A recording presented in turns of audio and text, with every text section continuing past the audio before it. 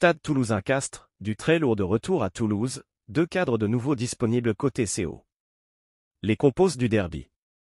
Les 15 de départ des deux formations ont été annoncés ce vendredi 1er mars, à la veille du derby qui va animer la 17e journée du top 14, 15h. C'est l'affiche qui, bien souvent, fait saliver les suiveurs du top 14 en Occitanie. Le derby Stade Toulousain-Castres est au programme de la 17e journée de top 14.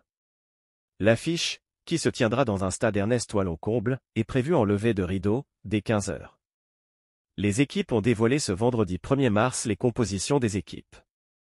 Et comme annoncé par la dépêche du midi, au stade toulousain, plusieurs retours sont à noter, et pas des moindres. Emmanuel Mifou en deuxième ligne, Jacques Willis en troisième. Le premier nommé était absent depuis plus d'un mois, touché à un genou. La première ligne est composée de David Enu, Guillaume Cramon et Joël Merclé. En deuxième ligne, Emmanuel Mifou sera accompagné de Richie Arnold. Le puissant Australien était remplaçant à Clermont. Il sera capitaine samedi pour le derby. Le troisième ligne verra à l'œuvre le trio Léo Bano, Joshua Brennan et donc Jacques Willis. À la charnière, Paul Graou, 13 ans vu lors de sa dernière sortie contre Yonax et absent lors de la journée précédente, déplacement et victoire à Clermont, et de nouveaux titulaires à la mêlée. Avec toujours l'Argentin Juan Cruz Malia à l'ouverture.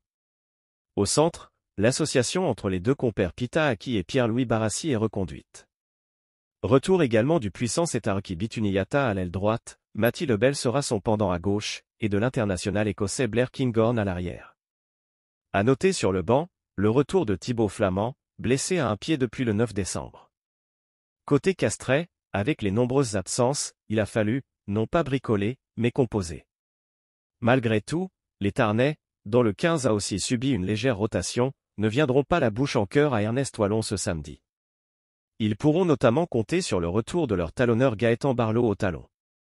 L'international français, non retenu avec le 15 de France pour le prochain match du tournoi contre le pays de Galles, sera entouré de Loïs Guérois et Henri Thomas sur le front du pack.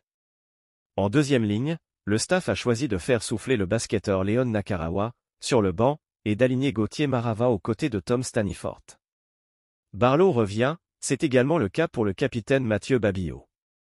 Il sera la figure d'expérience de cette troisième ligne où les jeunes Baptiste Copé, 22 ans, et Yann Pesson, 23 ans, en numéro 8, feront valoir leur qualité.